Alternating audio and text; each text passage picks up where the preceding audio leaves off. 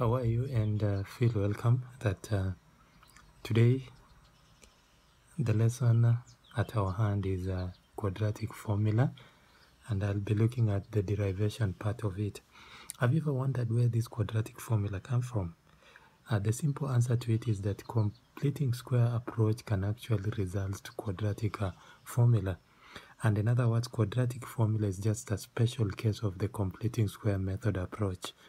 And therefore, I'm taking two steps to show you on a short video on how to come up with that quadratic formula. First of all, notice that uh, anytime the format of a quadratic equation is this one labeled here, ax squared plus bx plus c equals to 0. Notice that a should not be 0.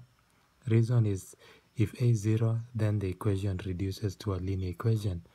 Now, we can apply quadratic or completing square method to come up with this quadratic uh, formula in a simple two steps. First of all, make this uh, coefficient of a to be 1 from this equation by dividing across by a.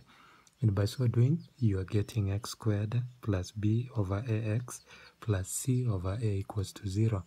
Then secondly, take the constant c over a to the other right hand side to have x squared plus b over ax equals to negative c over a. Notice the left hand side is lacking part c. Part c is lacking here. And to get that part c, we are applying this formula that uh, c equals to b over 2 uh, squared. By so doing, we can introduce that part c here, noticing that our b is b over a.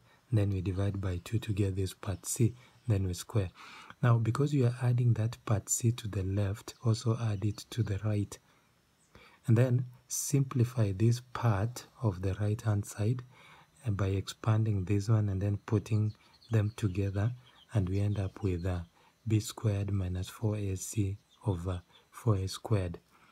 Now, once we are at that point, then x squared, we can actually factorize the left-hand side of this one, where now we get it as x plus b over 2a, then squared. We only take what is under square, and then we merge together, we retain the square. By so doing that one, we get uh, that this one is equals to what we expanded on the right-hand side. Then we take the square root on both sides and by doing that we get that uh, x plus b over 2a is equals to plus or minus the square root of b squared minus 4ac over 2a 2a in that the square root of 4 is 2 and the square root of a squared is a.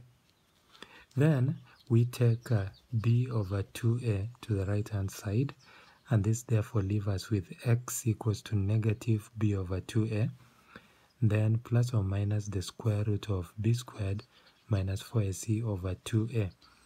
Now we can merge this one together by looking at the LCM of these two and therefore this results to uh, negative b plus or minus the square root of b squared minus 4ac all over 2a. Now this one that you are coming up with here is now the quadratic uh, formula realize that a is the coefficient of a squared, b is the coefficient of x, and c is the remaining constant. On the left hand side, I've given some nb that whatever that is under the square root is called the discriminant. Discriminant tell us or give us more information on the type of the uh, roots that we expect.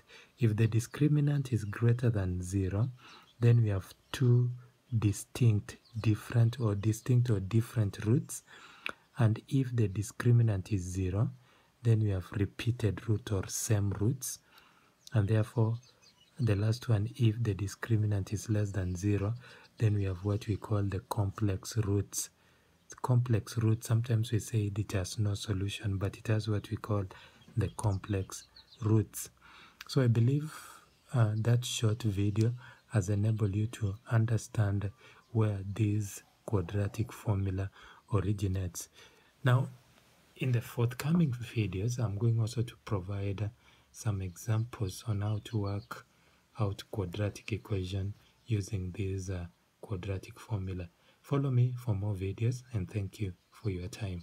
May God bless you.